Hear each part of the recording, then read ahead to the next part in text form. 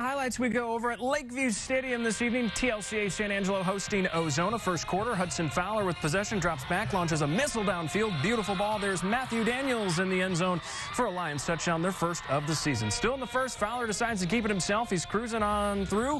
Help of his lineman breaking tackles. He'll fall into the end zone. Lions now lead at 14 0 And if you aren't tired of hearing his name, we'll get used to it. Fowler, once again, a big hole for him. He's easy into the touchdown. Ozona, a big time win tonight. 60 5-14 on the road.